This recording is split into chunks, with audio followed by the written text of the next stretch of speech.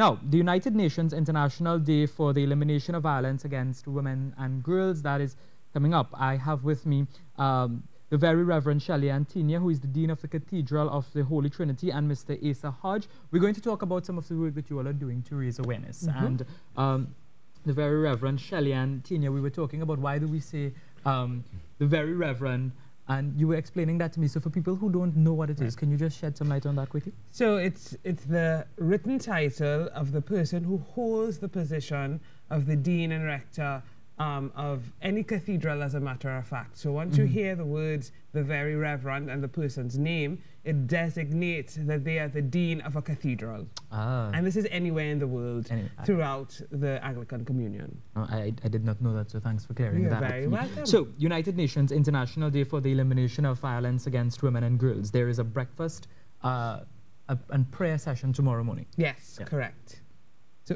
That's happening tomorrow morning at St. Mary's Cathedral, St. Mary's Church in Tacarigua, the church hall, Mhm. from 7.30 a.m. And it's a breakfast to raise awareness around this UN Day, because a very important theme right now in our country, the increase in um, violence against women and girls. Mhm. And what, what can we expect if we go to that? Um, lots of performances. Um, we have spoken words, singing, you can have some dance even as well, and a feature address. And the feature address will be given um, by Her Excellency uh, Paula-Mae Weekes, President of the Republic, ORTT. And so she will give the feature address, and, and then we will end the proceedings thereafter with um, prayer and um, a closing prayer and, and intercessory prayer.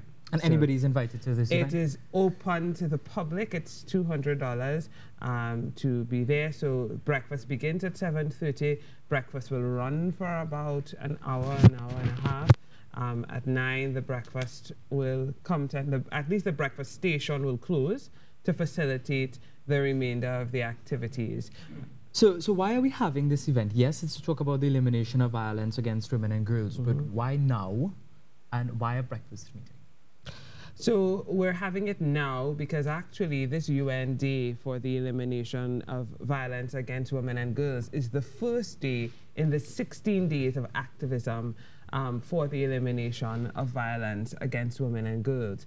And it is because the UN has designated the day and has over the years engaged in these 16 days of activism, we Mhm. found it an, uh, a wonderful opportunity to begin, but not to begin, to continue the conversation about how we eliminate gender-based violence and violence in general.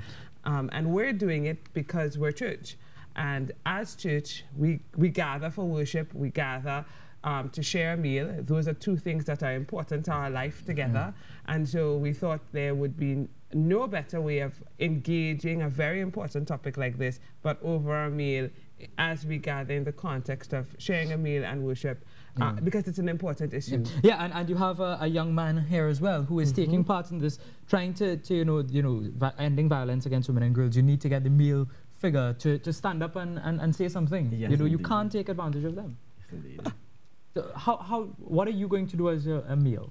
Um, as a male in environmental women and girls, it's just to help sensitize persons around the issue, help people to understand, okay, this is what you can do to help um, um, this issue. Because, I mean, people think, okay, I can't do anything, but there's simple things everyone can do to help around the issue. That's like knowing, okay, sexual harassment laws, not telling people certain things. I mean, it's very simple things everyone can do. And, and, and you have to talk to your friends and let them know that this is right and this is wrong, this Yes, is what you don't do.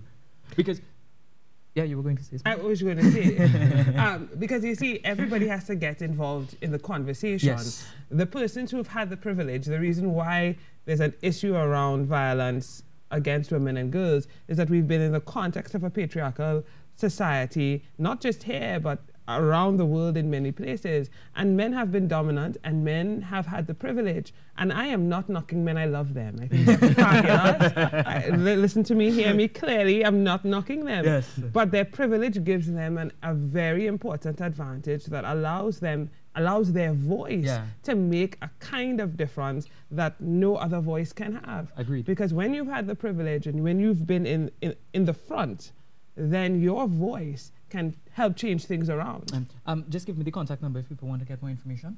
So you can contact the Cathedral office, 623-7271, or, Two seven one. or 4, 495 5596. All right. Well, thank you very much for coming in and talking with us. The Very Reverend Shelley-Ann Tenia, Dean of the Cathedral of the Holy Trinity, and also Mr. Asa Hodge.